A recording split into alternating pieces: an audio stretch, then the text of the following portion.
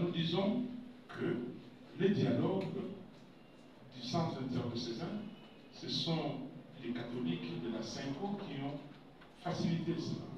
Et aujourd'hui, nous avons un corps qui est là, ce corps religieux. Si vous mettez les catholiques et les protestants, vous pouvez ajouter ce que vous voulez ajouter. Mais dans un premier temps, j'ai vu que ce corps-là, la Cinco et l'ECC sont très organisés. C'est pour cela que nous disons à nos pères spirituels, venez, mettons-nous ensemble. C'est à eux maintenant de faire des consultations, des discussions et de voir qui doit être là, qui ne doit pas être là. En tout cas, qui doit être là. Les parties prenantes.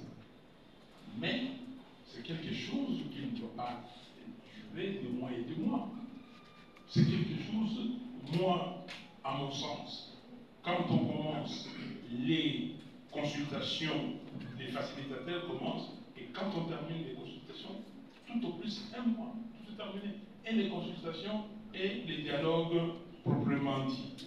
Donc, ce que j'attends de ces dialogues, j'attends que le pays soit réconcilié, qu'il y ait une cohésion nationale, que nous sortions de cette rencontre avec des résolutions, entre autres résolutions, tous les Congolais, filles et fils, unis pour défendre l'intégrité du pays.